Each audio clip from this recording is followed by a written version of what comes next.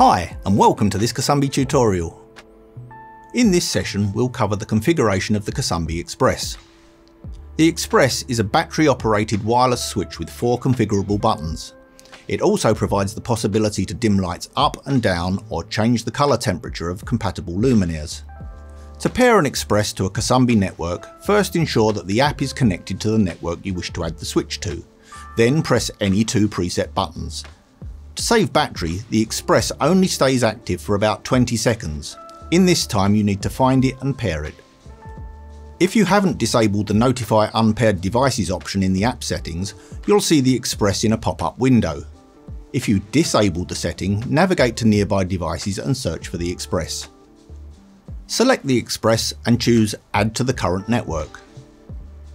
To configure, go to the switches screen, select the Xpress and set the four button functions as desired. Selecting a button will show the options available. For example, a button can control a luminaire, scene, group, element or all luminaires. It's also possible to resume automation for a group or the whole network. Each button can have a different setting. When you've selected a function, choose any other setting that may be needed. For example, if a button is set to control a luminaire, you'll need to choose the luminaire to be controlled. After configuring each button, push done and then done again. If the use toggle option is activated, each button will turn the programmed action on and off each time the button is pushed. If deactivated, each button will only turn the action on. The long press all off function can also be enabled or disabled. If active, holding any of the preset buttons for 5 seconds will turn off all luminaires in the network. This can be useful to ensure the lights are off before you leave home.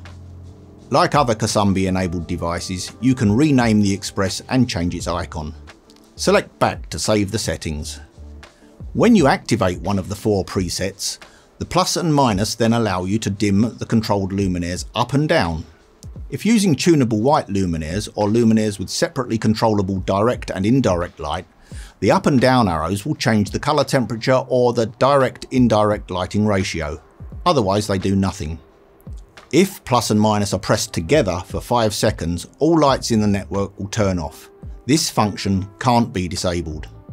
To unpair an Xpress, push any two presets, select it from the nearby devices list and push unpair device. If you don't have administrator rights to your network, then you'll need to push start and wait for an orange bar to appear. Then push one preset on the Xpress. Further information can be found from our support website and in our app user guide.